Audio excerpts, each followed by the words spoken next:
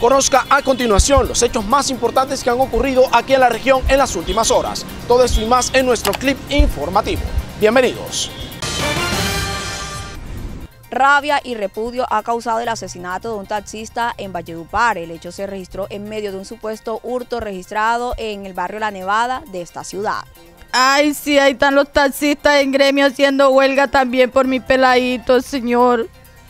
Por mi peladito que estaba también, que salía a trabajar para buscarle la comida a sus dos niñitas chiquiticas que dejó.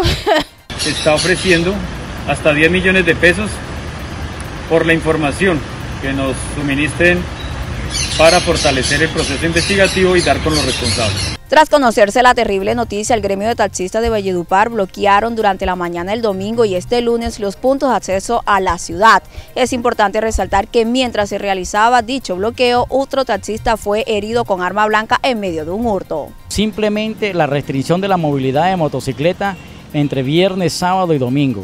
Y también llegamos a la conclusión de crear, la Policía Nacional va a crear un escuadrón de antiatraco para darle más tranquilidad a la ciudadanía de Vallenata.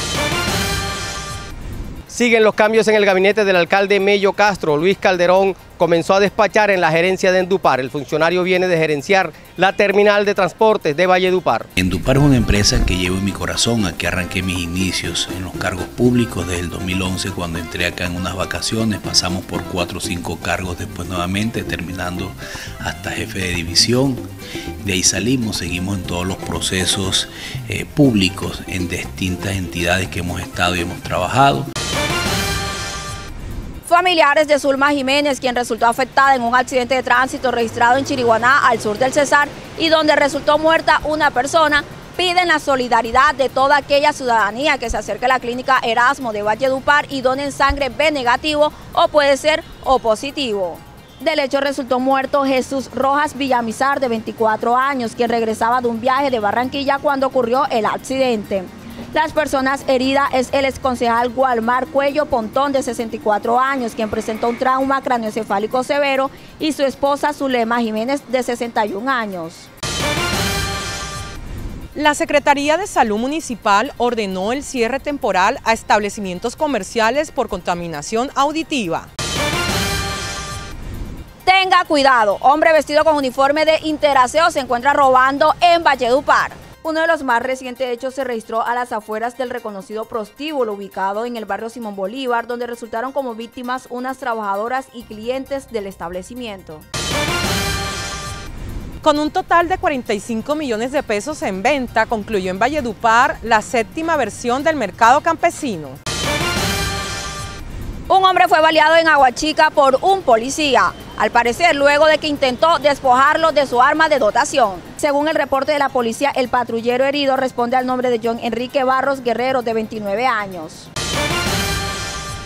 Un hombre tomó la fatal decisión de ponerle fin a su vida. El hecho se registró en el barrio Santa Rita de Valledupar. Se trata de Arquímedes Rafael Rodríguez Benítez, de 48 años y de nacionalidad venezolana. Dos muertos y dos heridos dejó un aparatoso accidente de tránsito registrado en Chimichagua, al sur del Cesar. Las víctimas fueron identificadas como José Manuel Méndez Pardo, de 55 años, y la niña Giselle Carolina Méndez Pardo, de 6 años.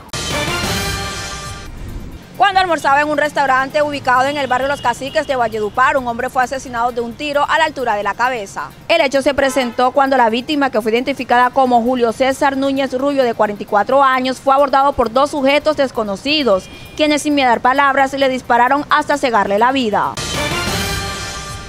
Cuando departían en un parque del barrio Populandia, al sur de Valledupar, dos hombres fueron asesinados a balazos.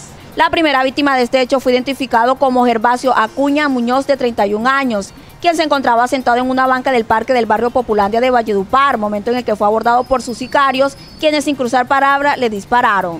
La segunda víctima respondía al nombre de Anderson Agustín Morales Ospina, de 18 años.